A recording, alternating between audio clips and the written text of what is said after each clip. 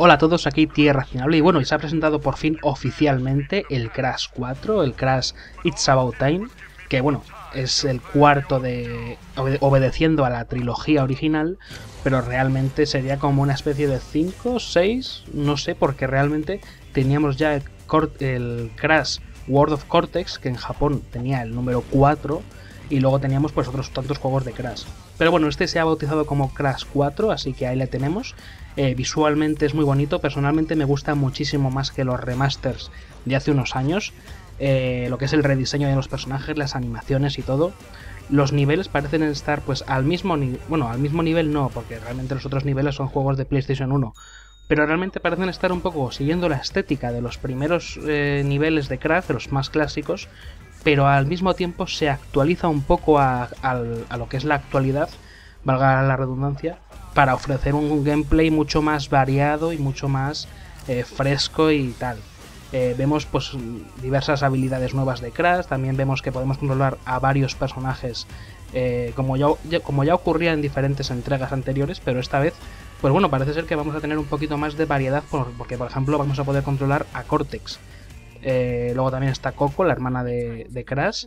Y bueno, también tenemos eh, esa confirmación para el 9 de octubre, creo que es 9 de octubre u 8 de octubre. Hay un punto negativo y es que, pues, en mi opinión, no sale para Switch.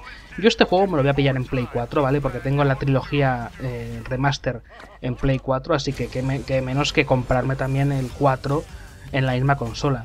Pero se nota que, porque en Switch está el Spiro, están los tres Crash, los tres Spiro, está el Crash Team Racing, y se nota bastante que este juego, que yo creo que la plataforma más ideal para jugarlo es Switch, se nota que no lo han sacado porque lo pretenden sacar en un futuro para hacer una segunda campaña de marketing y que el juego se venda como dos veces. Eso es lo que yo creo, pero bueno, dejando eso a un lado, yo creo que esa entrega de Crash se ve bastante fresquita, se ve bastante guay eh, está muy chula y no sé qué más decir, la verdad. Yo creo que eh, tenemos eh, esos raíles que a mí me han recordado mucho a, Sonic o a Ratchet Clank. y lo dicho, tenemos habilidades de Crash y nuevas.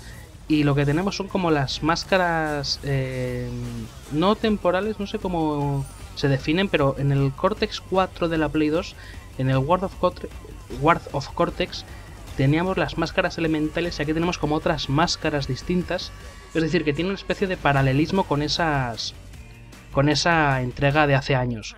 Eh, por lo demás, yo creo que es un, título que se, se, basa mucho en lo que son los Crash clásicos, los más clásicos. Eh, por eso se llama Crash 4, ¿no? Por eso se llama así, no es un reboot ni nada por el estilo. En el sentido de que yo veo que esos, esa especie de niveles de PlayStation 1, de niveles de plataformeo antiguos, se nota un poco que lo, está, que lo arrastra un poquito, pero al mismo tiempo se nota una mejoría considerable en muchos otros niveles. Ya os digo, hemos visto un tráiler, tampoco hemos visto nada en profundidad, pero bueno, eh, tampoco hay mucho más que decir del Crash 4, un juego bastante querido. Eh, yo, por cierto, estoy haciendo estos vídeos así como hacía los de Smash, pues voy a intentar hacerlo también con los anuncios nuevos de juegos que a mí personalmente me llamen la atención, porque si anuncian un juego muy secundario y me da un poco igual, pues lo siento mucho, pero no, no, sabré qué decir sobre él. Eh, luego también hablar de los leaks de este juego, quiero decir, este juego se filtraron, se filtró hace ya más de una semana casi, imágenes, eh, no imágenes en un televisor, sino imágenes de, realmente descargadas. Eh, luego teníamos que si un trozo de un tráiler de un vídeo, que si la fecha de lanzamiento ya, y al final cuando se anunció oficialmente el anuncio del anuncio, la cuenta oficial de Crash Bandicoot confirmó eh, todo esto, pero al mismo tiempo le hizo una especie de guiño a los leaks. Así que yo no sé hasta qué punto los leaks del Crash Bandicoot 4 eh, están un poco. estaban preparados o estaban hechos a propósito para, para que todo fuera una especie de campaña de marketing. Porque realmente, si este juego no hubiera tenido lo de los leaks, eh, se habría revelado ya, pero no habría tenido una previa de hype. No sé si me explico, así que yo creo que está un poco eh, conectado. Y bueno, yo creo que este Crash también lo que más destaca, sobre todo en lo que más destaca, porque ya hemos hablado de los niveles, ya hemos hablado de todo eso, de su parecido a lo que son las entregas anteriores, las tres entregas anteriores.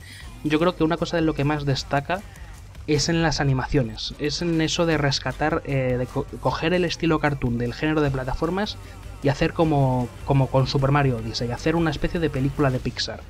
Creo que eso es lo que más me ha llamado a mí la atención del nuevo Crash, porque sí, a ver, tú ves el Crash 4 y te imaginas, pues, o sea, tú, si a ti antes de anunciarte el Crash 4 te lo nombran, tú ya en tu mente te haces una idea de lo que hemos visto hoy. Porque es, es básicamente lo que la gente se espera. La misma fórmula, pero mejorada. Pero lo que son las animaciones y tal, el rediseño de Crash, que tampoco es que sea muy, muy destacable, pero no es el mismo. Y a mí me gusta, me parece más bonito. Eh, yo creo que hace que todo esto sea tenga muchísimo más encanto en cuanto a lo que son, pues eso, las animaciones. Y eso que en, el Insane Trilogy ya tenía unas animaciones bastante, bastante trabajadas. Lo que son las remodelaciones. Así que bueno, yo creo que este Crash 4 va a ser un plataformas muy bueno. Encima le tenemos ya al final del verano. Eh, y para los fans del personaje va a ser una delicia porque es que es, para resumir, es una mezcla entre coger a Crash y darle una entrega nueva ahora en 2020 y al mismo tiempo rescatar aquel Crash de la mascota de PlayStation 1. Así que bueno, todo bien.